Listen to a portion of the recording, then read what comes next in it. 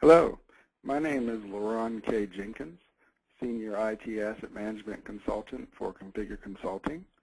I am a certified HP professional with 15 years experience in IT asset management, 12 of those years successfully implementing HP Asset Manager and related business technology optimization solutions in various industry sectors, including banking, pharmaceuticals, government, and chemical manufacturing. And I am very excited to talk to you today about Asset Manager's financial management module, focusing on the total cost of ownership of your assets and Configure Consulting's Quick Start IT Asset Management solution offering.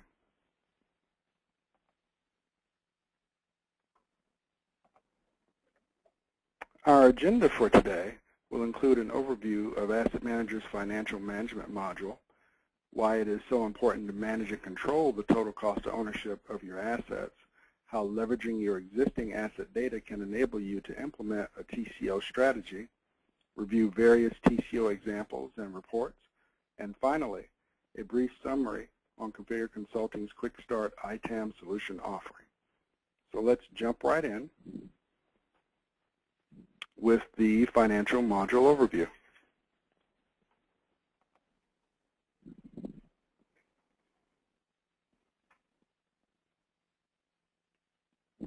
As IT budgets are under pressure to do more with less, even in the moderately improved economy, IT needs to focus more than ever on acting as a business.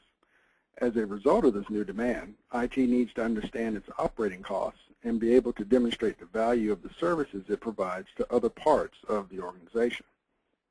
Asset Manager's financial management module comes with several features that can enable IT inventory managers to track actual equipment and services costs against planned budgets, including taxes and chargebacks, as well as reconciling fixed assets. In conjunction with Asset Manager's procurement, portfolio, and contracts modules, the financial management module can enable the IT department to answer questions like, what equipment is not being utilized more effectively, i.e. sitting in a stockroom long after it's been paid for, or paying for leased equipment that's not even in use or in production knowing in an instance, for example, how much the company has lost in missing or stolen equipment, or what vendors aren't meeting their service level agreements, costing you more time and money in day-to-day -day operations. And finally, a comprehensive view of what it costs to own and operate assets or services in your organization. It is this last question that's at the core of total cost of ownership as seen in this computer models by yearly TCO report. What cost categories or cost types are generating all that expense? Hosting service fees, software license purchases, maintenance. Controlling the total cost of ownership of assets and or services is a major factor in having a competitive advantage in business and maximizing your company's bottom line. Configure Consulting's Quick Start ITAM solution offering, which includes implementation of the financials module, can get you on the right path to do exactly that.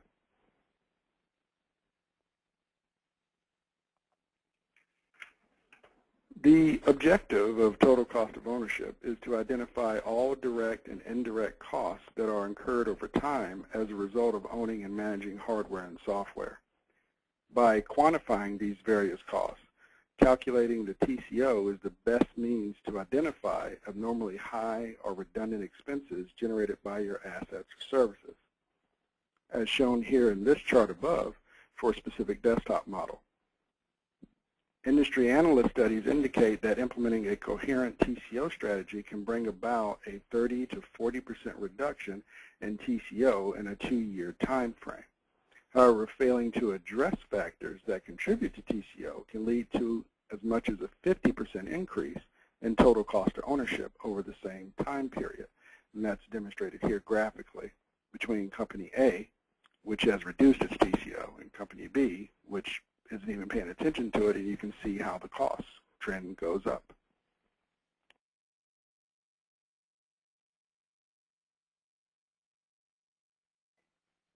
But how can these various direct and indirect costs be captured without a ton of manual effort? That's where leveraging your existing asset data comes into play. By using HP Connect-It, a world-class data and platform integration tool, you can interface your disparate data sources with Asset Manager and feed its various modules all the data required for calculating TCO. And that includes everything from integrating with your procurement system to determine acquisition costs, or your service desk or help desk system to determine support and maintenance costs. You can even integrate with uh, contracts data to determine other services costs. You can even import from uh, indirect sources like spreadsheets or access databases to capture other ancillary costs. Understanding how these various data sources can be leveraged to help maintain a centralized asset inventory database and contribute to calculating TCO, we can immediately put all this information to good use, proving a positive return on investment of your company's existing resources.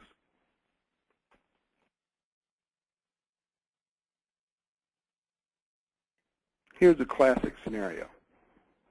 In this example, your company is considering discontinuing use of the most costly desktop model in their environment based on a three-year depreciation schedule. TCO can determine which desktop model actually costs your company the most money to manage, as opposed to simply throwing out the most expensive desktop model at the time of purchase in 2011.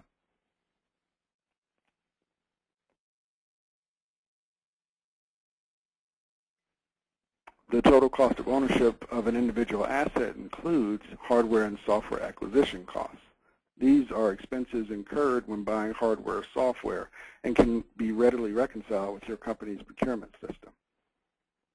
Management costs, such as installation, support, and or maintenance for upgrades, is also included and can be sourced from your help desk or service management system. Finally, end-user costs may also be included in the TCO calculation, although end-user costs tend to be indirect, like employees performing support tasks without the usual support channels or going through the usual support channels, or time spent by users training themselves, uh, for instance, taking online courses with their computers, or testing hardware and software uh, at their desks, or just reading uh, training manuals, etc certain studies have concluded that these indirect costs can make up as much as 27% of added costs for a given asset. As you can see here above, the various expense lines, purchase, installation, maintenance, uh, all are recorded against the asset automatically via the normal asset lifecycle processes either directly from within Asset Manager, i.e. through the procurement cycle and or externally via Connect-It on a scheduled and or conditional basis with the aforementioned external data sources.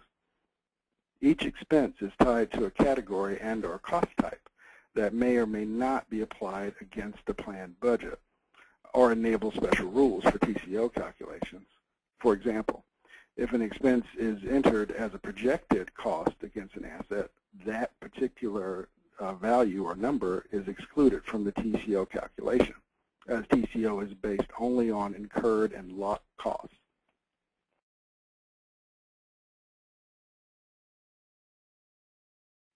Out of the box, simply clicking the Calculate TCO button you see here can generate the total cost ownership for this desktop, provided financial parameters are linked or present for this asset, including but not limited to incurred costs, as you've, as you've already seen, uh, chargeback costs, the business value start and end or retirement date, and the economic depreciation schedule value at the time of the TCO calculation.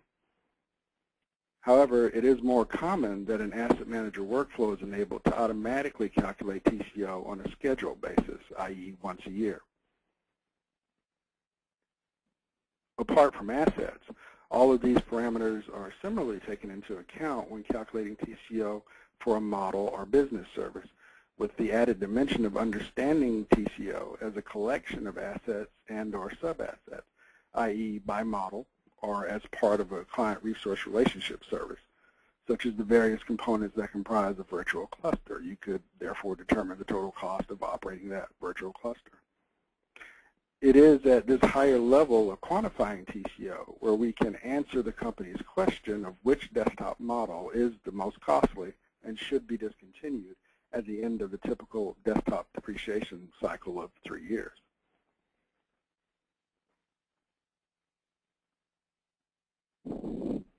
by calculating TCO at the model level. All assets based on the models in questions are updated with new TCO values. Again, simply by clicking the TCO button or running it on a workflow schedule. The average of all those assets are now reflected in the TCO of the model. The company can use this information to make a determination on which model it should stop using. The data shown here in the list view pane above can be exported directly into an Excel spreadsheet or copy-pasted into an email. You can even use Asset Manager's out-of-the-box statistics generator and make Excel-type charts of the TCO values directly from the data for formal reports or presentations. And the winner is the Destron X51. It is, as you see from the graph, way too costly. By further reviewing the cost categories and types of the expenses against this particular model, your company discovered that this model is prone to an abnormal number of support desk tickets, as well as higher installation and maintenance costs than normal, as compared to the other desktop models. Moreover, the company may want to spend more money on the less costly DeskPro HP DC7100 or its successor going forward when the next workstation refresh cycle comes around.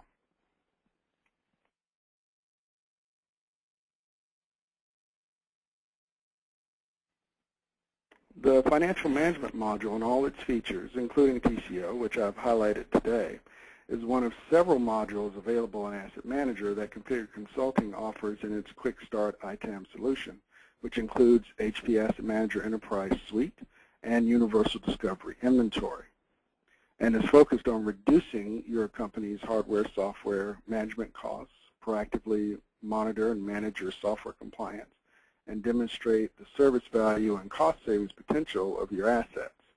This initial deployment solution offering can be implemented in as little as five weeks for a cost of only $50,000.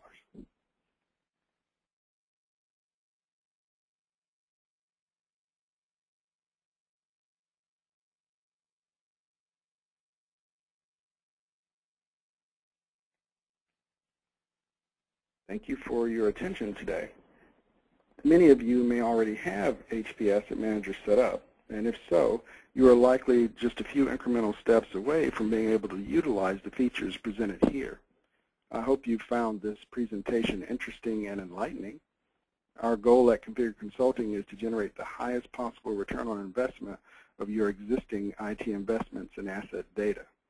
If you have any further questions or would like to arrange a one-on-one -on -one demonstration and or discussion of any of our other solution offerings or product demos, please don't hesitate to contact myself or our sales and business development representative, Ms. Anu Rao.